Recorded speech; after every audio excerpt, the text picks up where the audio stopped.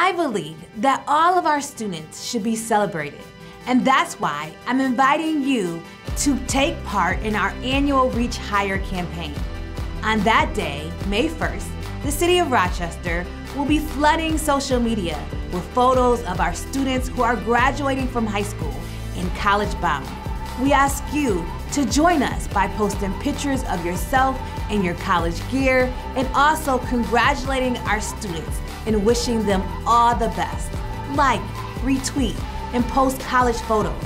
Offer words of wisdom. Please use the hashtags Reach Higher and Rock so our students can see that in Rochester, we rock together.